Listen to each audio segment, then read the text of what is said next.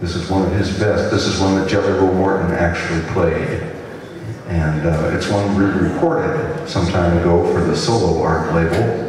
We do have CDs, by the way. We have On the Levee and uh, Ragtime CD by Kris and Charlie Halloran's Quality Six out in the lobby. We encourage you to take a look at those while you're here. Here's a wonderful rag called Grace and Beauty.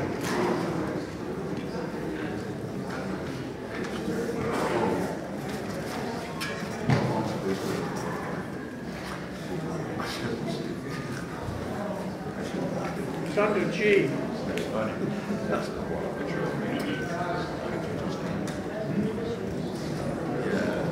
Thank